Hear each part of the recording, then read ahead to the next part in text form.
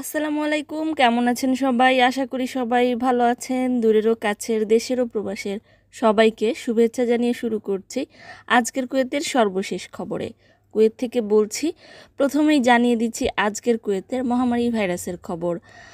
আজ দোসরা এপ্রিল, শুক্রবার দুই হাজার একুশ কুয়েত স্বাস্থ্য মন্ত্রণালয়ের দেওয়া তথ্য অনুসারে গত চব্বিশ ঘন্টায় সোয়াব টেস্ট করা হয়েছে নয় হাজার চারশো পঞ্চাশ জনের। এদের মধ্যে আক্রান্ত হয়েছে বারোশো তেত্রিশ জন। এ নিয়ে সর্বমোট আক্রান্ত হলো দুই লাখ চৌত্রিশ হাজার সাতশো চুয়ান্ন জনের। গত চব্বিশ ঘন্টায় মৃত্যুবরণ করেছে আটজন এ নিয়ে সর্বমোট মৃত্যুর সংখ্যা বেড়ে দাঁড়াল তেরোশো সাতাশ জন। ইনালিলাহি ওয়া ইনালাইহি রাজেউন। গত চব্বিশ ঘন্টায় সুস্থতা লাভ করেছে তেরোশো চুরাশি জন। এ নিয়ে সর্বমোট সুস্থতা লাভ করল দুই লাখ উনিশ হাজার দুশো সাতান্ন জন। আলহামদুলিল্লাহ। দেশটির আইসিইউতে এখনও সংকটাপন্ন অবস্থায় রয়েছে দুশো একচল্লিশ জন, চিকিৎসাধীন অবস্থায় রয়েছে চোদ্দ হাজার একশো সত্তর জন। দেশটিতে প্রতিদিনই আক্রান্ত হচ্ছে তেরো দশমিক পাঁচ শতাংশ এবং সুস্থতা লাভ করেছে তিরানব্বই দশমিক চল্লিশ শতাংশ। করোনা সংক্রমণ প্রতিরোধে কুয়েতে প্রতিদিনই নতুন নতুন পদক্ষেপ নেয়ার পরও উদ্বেগজনক হারে করোনা সংক্রমণ বেড়েই চলছে। কুয়েতে জলপথ, স্থলপথ, আকাশপথে প্রবাসীদের প্রবেশ নিষিদ্ধ রয়েছে এবং সন্ধ্যা ছয়টা থেকে ভোর পাঁচটা পর্যন্ত কারফিউ রয়েছে, যা আগামী আটই এপ্রিল থেকে পরিবর্তন হয়ে সন্ধ্যা সাতটা থেকে ভোর পাঁচটা পর্যন্ত থাকবে। স্বরাষ্ট্র মন্ত্রণালয় থেকে জানা গিয়েছে, গতকাল পহেলা এপ্রিল কুয়েতের কারফিউ আইন লঙ্ঘনের দায়ে তেরো জনকে গ্রেফতার করা হয়েছে। এদের মধ্যে চারজন কুয়েতি নাগরিক নয় জন প্রবাসী। এবারে জানিয়ে দিচ্ছি অন্যান্য খবর। মধ্যপ্রাচ্যের দেশগুলোর মধ্যে কতজন চিকিৎসাধীন রয়েছে চলুন জেনে নেওয়া যাক। সৌদি আরবিয়াতে রয়েছে পাঁচ হাজার সাতশো আটষট্টি জন, কাতারে রয়েছে ষোলো হাজার তিনশো সাতাত্তর জন, ওমানে রয়েছে তেরো হাজার ছয়শো আটানব্বই জন, কুয়েতে রয়েছে চোদ্দ হাজার একশো সত্তর জন, বাহারাইনে রয়েছে আট হাজার সাতশো তিরানব্বই জন, সংযুক্ত আরব আমিরাত বা দুবাইতে রয়েছে চোদ্দ হাজার তিনশো ছাব্বিশ জন। সবচেয়ে বেশি চিকিৎসাধীন অবস্থায় রয়েছে কাতারে। কুয়েতে করোনা ভ্যাকসিন প্রক্রিয়া এখনও অব্যাহত রয়েছে, যারা রেজিস্ট্রেশন করেনি, রেজিস্ট্রেশন করে ফেলুন। এছাড়াও করোনা সংক্রমণে স্বাস্থ্য মন্ত্রণালয় থেকে হুঁশিয়ারি দিয়ে বলা হয়েছে, প্রবাসী নাগরিক এবং স্থানীয় নাগরিকদেরকে অবশ্যই বাহিরে বের হওয়ার সময় মাস্ক ব্যবহার করতে, মাস্ক পরিধান না করলে জরিমানা দেয়া হবে। এছাড়াও রাস্তায় এবং পাবলিক প্লেসে হাঁটা চলাচল করার সময় অবশ্যই স্বাস্থ্যবিধি মেনে দূরত্ব বজায় রাখতে হবে।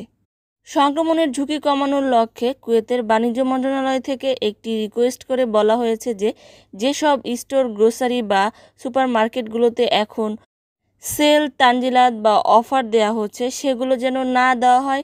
এই সেল বা তানজিলাতের কারণে করোনা সংক্রমণ বৃদ্ধি পেতে পারে, তার চেয়ে বরং অনলাইন কেনাকাটায় সেল বা তানজিলাত বা অফার দেওয়াটা সবচাইতে ভালো।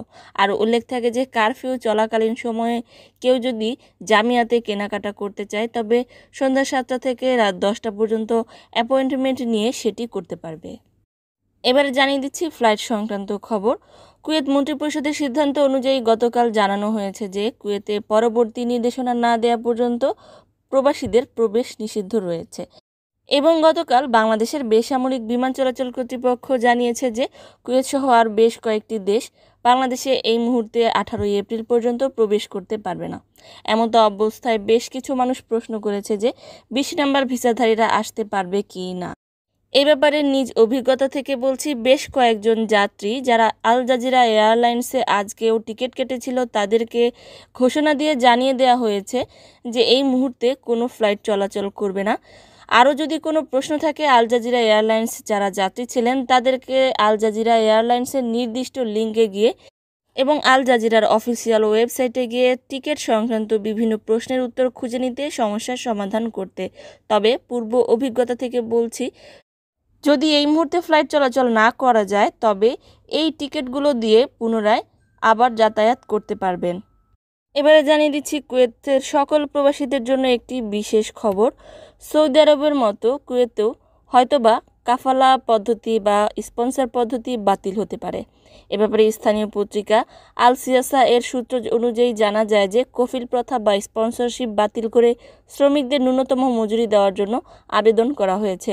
আন্তর্জাতিক কর্মসংস্থান ও কর্মক্ষেত্র এবং মানবাধিকার বিষয়ক স্বতন্ত্র আন্তর্জাতিক পরামর্শদাতা আবদুল্লাহ জুহাইর রাজনৈতিক নেতৃত্বে কুয়েতের স্পন্সরশিপ কফিল প্রথা বাতিল করে শ্রমিকের ন্যূনতম মজুরি নির্ধারণের জন্য আবেদন করেছেন।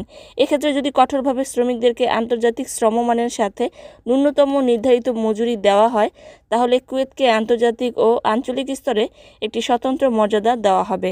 আল সিয়াসার বরাদ দিয়ে আরও জানা যায় যে, আবদুল্লাহ আল জুহাইর আরও জানিয়েছেন, আমি ভাগ্যবান ছিলাম কারণ আমি যখন আরব দেশগুলোর আঞ্চলিক উপদেষ্টা হিসেবে ছিলাম তখন বেশ কয়েক বছর কুয়েত সরকারের সাথে কাজ করেছি এবং সম্মানও পেয়েছি। জাতিসংঘের আন্তর্জাতিক শ্রম সংস্থা আর আমি বলতে পারি যে কুয়েত একটি প্রতিষ্ঠান এবং আইনি রাষ্ট্র, যেখানে গণতান্ত্রিকভাবে কর্তৃপক্ষ পর্যবেক্ষণ কর্তৃক আইন সত্তা হিসেবে কাজ করে। উল্লেখ থাকে যে প্রায় ষাট বছর কাফালা সিস্টেম চালু থাকার পর সম্প্রতি সৌদি আরবে এই কাফালা পদ্ধতি বাতিল করা হয়েছে। হতে পারে কুয়েতেও এই সিস্টেমটি চালু হতে পারে। এবারে জানিয়ে দিচ্ছি আরও একটি বিশেষ খবর।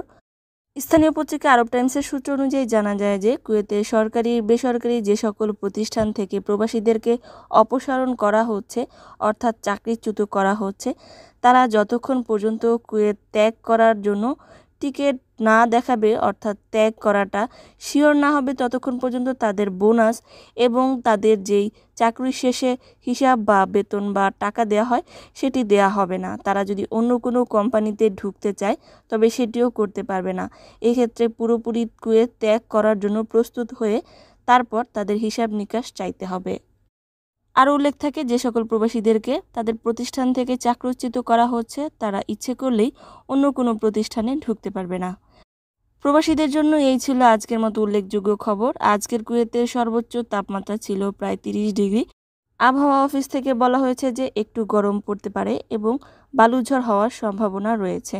আজকের কুয়েতের কারেন্সি এবং গোল্ড প্রাইস আগের মতোই ছিল। এবারে জানিয়ে দিচ্ছে আমাদের সবার প্রিয় বাংলাদেশের মহামারী ভাইরাসের খবর। গত চব্বিশ ঘন্টায় স্বাস্থ্য অধিদপ্তরের দেওয়া তথ্য অনুযায়ী মোট আক্রান্ত হয়েছে ছয় হাজার আটশো তিরিশ জন। এ নিয়ে সর্বমোট আক্রান্ত হলো ছয় লাখ চব্বিশ হাজার পাঁচশো চুরানব্বই জন। গত চব্বিশ ঘন্টায় মৃত্যুবরণ করেছে পঞ্চাশ জন। এ নিয়ে সর্বমোট মৃত্যুবরণ হল নয় হাজার একশো পঞ্চান্ন জন। ইনালিল্লাহি ওয়া ইনেলাইহি রাজিউন। গত চব্বিশ ঘন্টায় বাংলাদেশে সুস্থতা লাভ করেছে দুই হাজার চারশো তিয়াত্তর জন। এ নিয়ে সর্বমোট সুস্থতা লাভ করল পাঁচ লক্ষ সাতচল্লিশ হাজার চারশো এগারো জন। আলহামদুলিল্লাহ। বাংলাদেশের বেশ কয়েকটি হসপিটালে আইসিইউ ভর্তি রোগী আইসিইউ পাওয়া যাচ্ছে না এবং বেশ কয়েকটি জেলাকে উচ্চ ঝুঁকিপূর্ণ জেলা বলে আখ্যায়িত করা হয়েছে, তবে এখনও লকডাউন দেওয়া হয়নি। বাংলাদেশের অবস্থা অনেকটাই উদ্বেগজনক। বাংলাদেশ সহজে যেখানেই অবস্থান করছেন, নিজের প্রতি খেয়াল রাখুন, স্বাস্থ্যবিধি মেনে চলুন। সম্মানিত ভিউয়ার্স, আজকের মতো এই ছিল সর্বশেষ খবর। পুরো ভিডিওটি দেখার জন্য অনেক ধন্যবাদ। ভিডিওটি ভালো লাগলে লাইক, কমেন্ট, শেয়ার করে দিবেন। যারা এই চ্যানেলে নতুন এসেছেন, চ্যানেলটিকে সাবস্ক্রাইব করা না থাকলে অবশ্যই সাবস্ক্রাইব করে দিবেন। যারা পূর্বেই সাবস্ক্রাইব করেছেন, সবাইকে অনেক ধন্যবাদ, ভালোবাসা এবং কৃতজ্ঞতা। কুয়েত প্রবাসী, বাংলাদেশিরা, কুয়েতের আকামা, বতাকা, ফ্লাইট, পাসপোর্ট সহ যে কোনো খবর জানতে এই চ্যানেলের সাথে যুক্ত থাকুন। আজকের মতো আল্লাহ হাফেজ। Thanks for watching